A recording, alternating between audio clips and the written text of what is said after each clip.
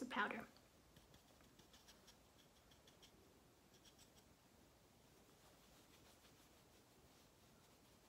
This kind of sets everything together so your face is not going to run by the end of the night.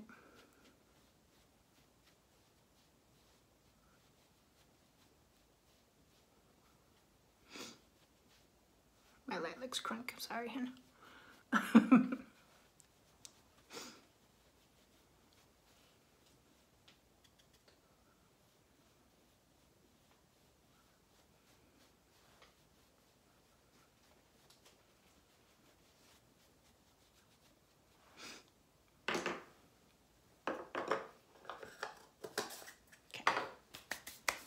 There's that.